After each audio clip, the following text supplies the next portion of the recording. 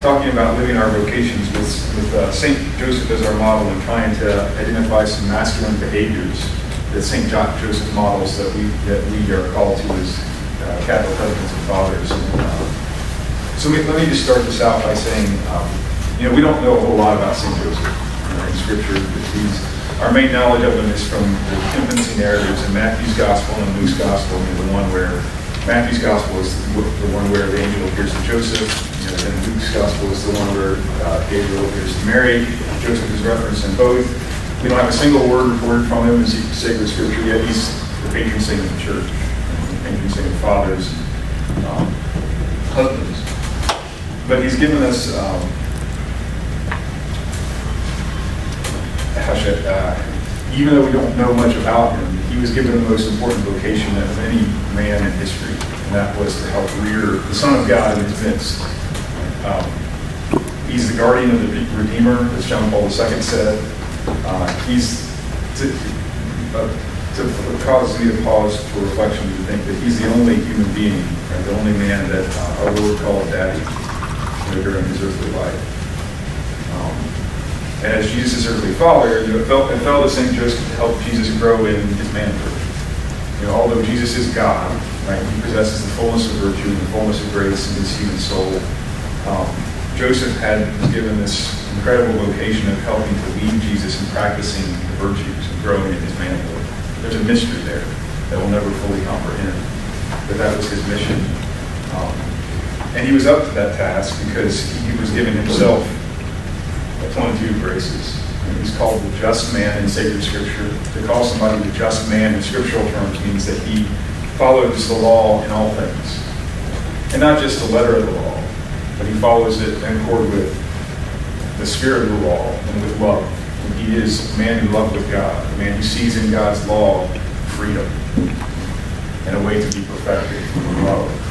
So, um, Pope Leo XIII, I looked this up briefly, he, he actually said after Mary, uh, no one except. There's no teaching that says Joseph was similarly immaculate conceived, because the, the Leo XIII did say that after Mary, there's nobody holier uh, than Joseph. So, um, so where does, where does this apply to us? So where do we see the type of man that Joseph was? Well, if he had the responsibility of leading Jesus and growing in his manhood and uh, practicing virtue and becoming a, a faithful um, Jewish man, right, who ended up, who was the Messiah, who was God among us, that was his mission, then uh, we can see something of St. Joseph reflected in Jesus' ministry. Right? And when we see Jesus um, exhibiting certain you know, masculine behaviors, virtues, attitudes, I think it's pretty clear that, well, we see Joseph reflected in him. So it's just, uh, so I'm kind of, what I'm doing is to take certain behaviors that we see in Jesus and, and, uh, and then kind of some, some of this is, is admittedly kind of prayerful thinking on my own, seeing how we see how Joseph exercised the same behaviors and how they apply to us. Okay. I got 10 points. None of them are very long. Okay. Um, so the first thing, um, Joseph knew who he was in relation to the Father. Um, how do we know this? Well, you know, Jesus defines his whole ministry, his whole existence in terms of his relationship with his Father. And from all eternity, Jesus, the Father, Son, and Holy Spirit are one God. But in his earthly life, we see Jesus constantly, everything he does is with reference to the Father and the mission the Father gave him. I think it's safe to say that, you know, in his manhood, he sees his, his earthly adopted father, his foster father, Joseph, you know, doing the same thing. That Joseph knew who he was in relationship to the Father he never did anything apart from God. He never he was a just man. He never did anything apart from God's law. Um, his whole life was in relationship to the Heavenly Father, um, which is ultimately the mark of profound humility. Humility isn't humiliation. It's not thinking less of ourselves, but it's thinking of ourselves less. And it's knowing who we are in relationship to God, knowing that God is God. We're, we are who we are. We're not God right? and living our whole life in reference to, to, this relationship with the Heavenly Father. Joseph did that. You know, and that's something that, that we can do as Catholic husbands and fathers. Second point. Uh, Joseph was decisive, and he was a, uh, a problem solver, and he was a man of action. Um, how do we know that? Well, um, we see in Jesus, when he's in his, he's exercising his public ministry, when there's a problem to be solved, he assesses the situation and he comes up with a solution. The feeding of the, of the 5,000, right? Um, he sees there's a problem there. He knows what to do. He sets about giving, giving instructions to his disciples, his apostles, and he solves the problem. Um, but we also see it in Joseph, and we do see this in Scripture itself. Right? In Joseph, you know, when um, when the angel appears to him in a dream and says that, that Herod is uh, after your, your, your child, uh, well, he picks it picks up, you know, he figures out what he needs to do to get out of town, and he leaves. And one has to think that you know the, the whole time he's, he's he's solving this problem, making this decision in a not in a, a rash, you know, kind of reactionary way, but in a way which is measured, where he knows what he needs to do, and he sets about doing it um, decisively. He doesn't hesitate. So to be this, um, this problem solver, this man of action, to be decisive when necessary, that's also a mark of a, Catholic husband and father. Um, by the way, I should have said, opened this whole thing by saying you guys, you guys are, most of you in this room much further along in your vocations as husbands and fathers than I am. I just am trying to put together vows for reflection. I don't stand in front of any group of men and claim to have everything together and claim to be the, husband, perfect husband and father. I made many mistakes and I'll make many more. I can learn more from you than you probably learn from me. But these are just kind of, kind of points for, for reflection for all of us, um, to the best of my ability. Third point, Joseph exhibited resolve and perseverance. You know, after he makes decisions, um, he says he goes forward with resolve and perseverance. We see that in Jesus clearly in his earthly ministry. You know, he sets Jesus sets his face like flint. You know, like that's from the prophet Isaiah. And to go forward to fulfill the mission the Father's given him to fulfill. You know, with resolve, with perseverance, um, no matter what obstacles that he faces, he continues he continues to go forward. And I think that's not just implicit, but that's presumed in the text about Joseph you know, taking care of Mary and Jesus when they're fleeing into Egypt and back. Uh, so resolve and perseverance. Number four, uh, Joseph was other-centered.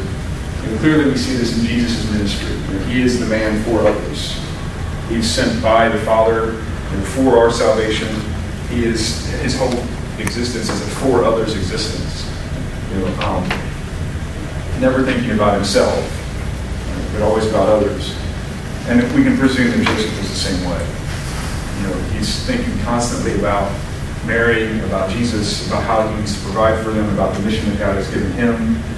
Um, and I'm sure Joseph had plans for himself, you know, prior to being wed to Mary, even as he was engaged to Mary. I'm pretty sure he had plans, you know, as a, as a future husband and father, you know, but he puts all those aside um, to be centered on Mary and Jesus in the way that God is asking him to do.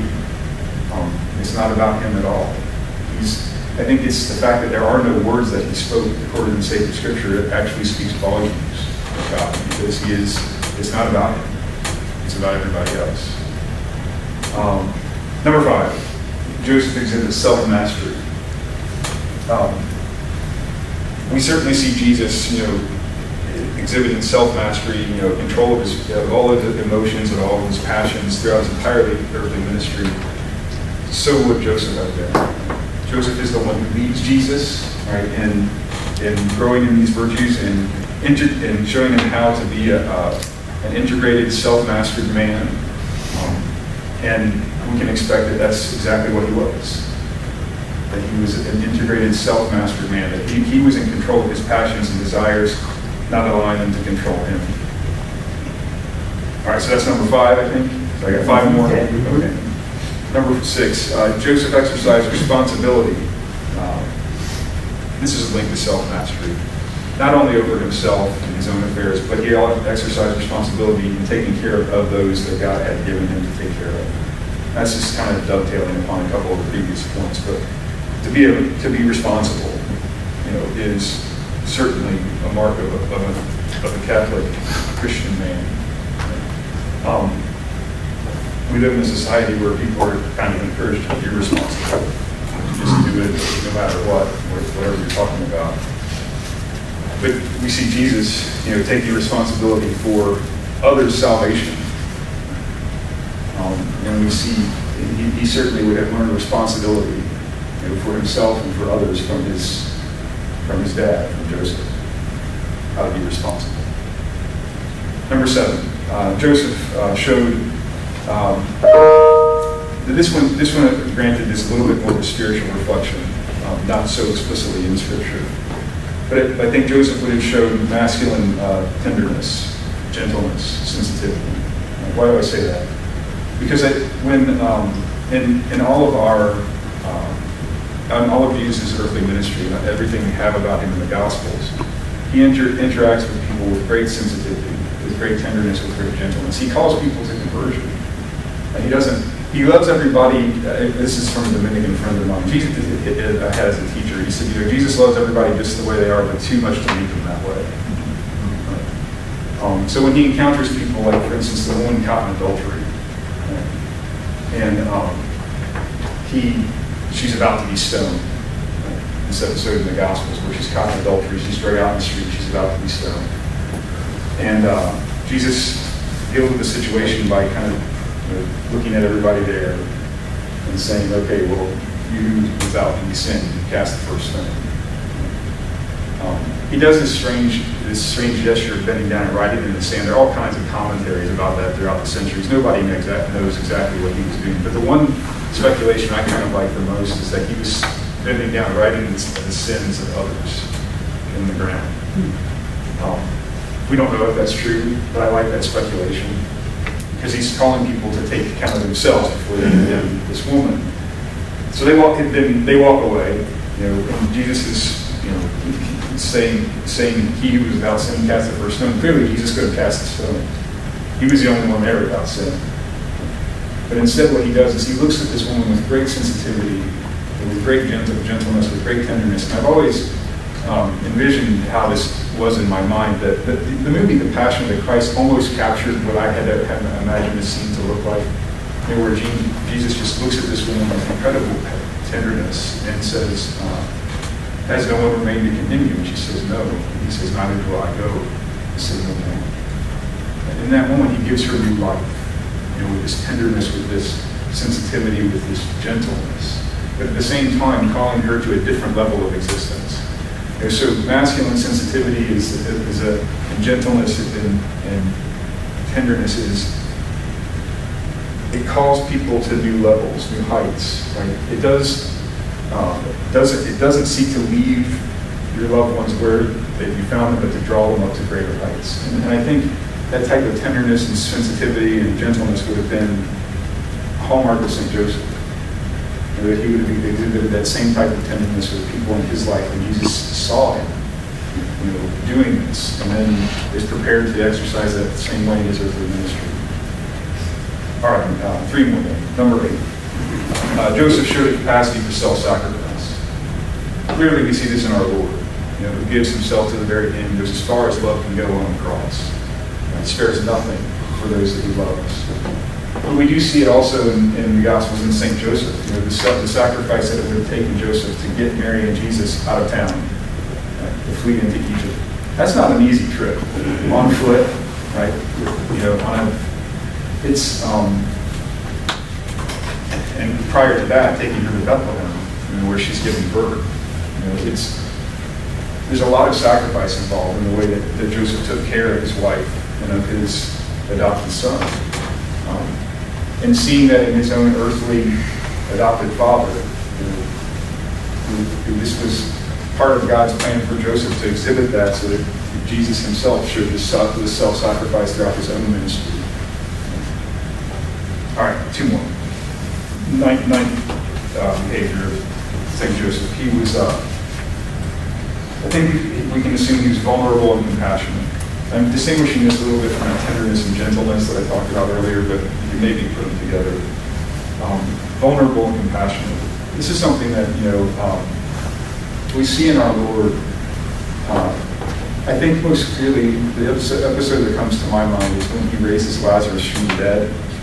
And he comes upon the scene, Martha and Mary meet him, and uh, he must have been really close friends with his family, and they, he loved them a great deal. Uh, and um, he comes upon the scene, and you know, Mary says, if, uh, if he'd just been here, he wouldn't have died. He well, still, he still will live.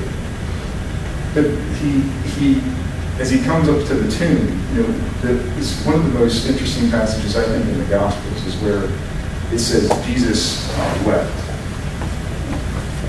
But the term behind that is that uh, a scripture professor of mine at one point pointed out this isn't just like he wept or he cried. It's like he was so disturbed, his very body was just shaking. It's like deeply disturbed. So Jesus knows he's going to raise him from the dead, so why is he so disturbed? Because ultimately, Jesus is the sinless one, knows that the ultimate result of sin is death, and this was not supposed to happen. Sin was not, death was not supposed to be part of the cards for the human person, God's original plan.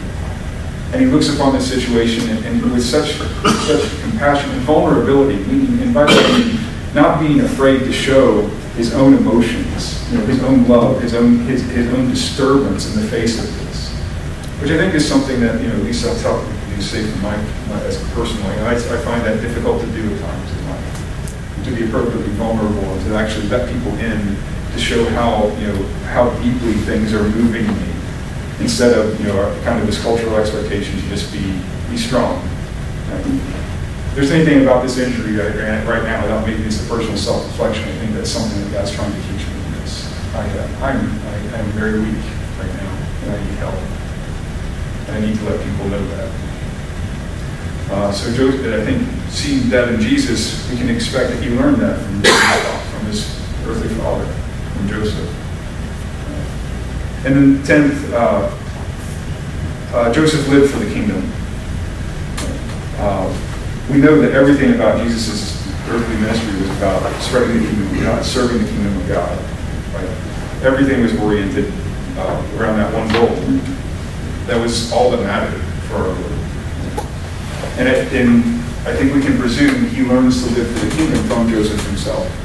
Everything that Joseph does is about furthering God's kingdom. He has God's kingdom in his midst, in his home, right? in the person of Christ and he stirred, he forms his whole life, whatever, whatever plans he had prior to God calling him to this particularly incredible vocation. Right? Everything gets reoriented around serving the kingdom and the person of Christ. So, um, those are my thoughts for this morning. I, uh, I, hope that I was that was coherent. Um, I hope that in some way that gives you something to think about. Um, um it's my, you know, people attempt at trying to just you know, think about well, what does St. Joseph show us as, as a dad, as a father, as a man, um, and how can we emulate him? And, um, so uh, you probably have even better insights than those, but hopefully this is this is give you something to talk about this morning. So, any.